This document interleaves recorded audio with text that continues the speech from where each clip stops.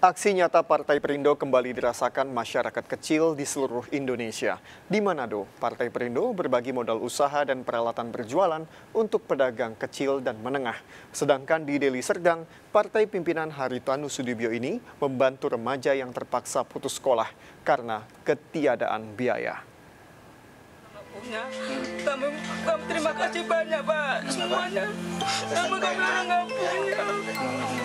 Anak untuk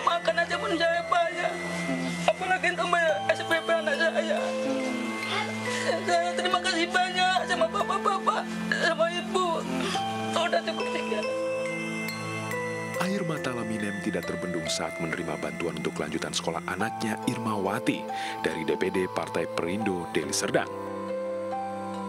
Irmawati, putri dari pasangan Selamat dan Laminem ini terpaksa berhenti dari sekolah karena ketiadaan biaya.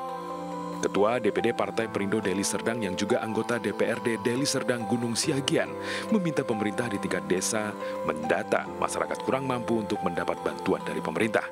hendaknya betul-betul mendata, mendata warga-warga kita yang tidak mampu. Dan saya dengar, ya semua bantuan yang dari pemerintah dapatlah Bapak Selamat ini.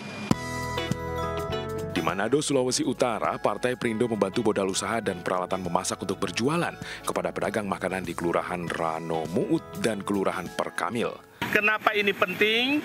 Karena ini bentuk dari kepedulian Partai Perindo eh, berjuang bersama pelaku usaha mikro, pelaku usaha kecil, karena Partai Perindo tahu kesulitan yang dialami oleh pelaku UMKM.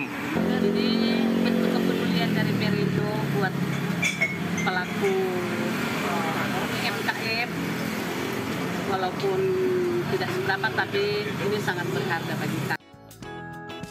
Aksi nyata Partai Perindo ini tidak terlepas dari perjuangan untuk mewujudkan Indonesia sejahtera. Dari Manado dan Deli Serdang, Jeffrey Langi dan Amiruddin Ainus melaporkan.